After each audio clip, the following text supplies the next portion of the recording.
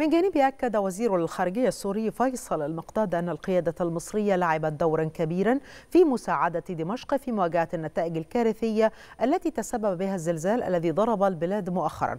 وأضاف المقداد أن المساعدات المصرية تعبر عن التحام الشعب المصري مع شقيقه السوري.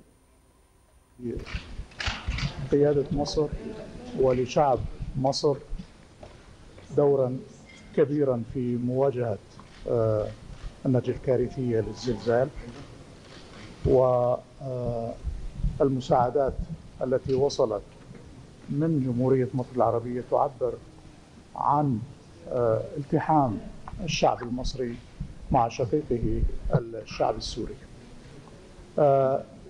لا يمكن أن نتجاهل في هذه اللحظات أيضا استقبال الشعب المصري والقيادة المصرية للمواطنين السوريين الذين اضطروا إلى مغادرة سوريا.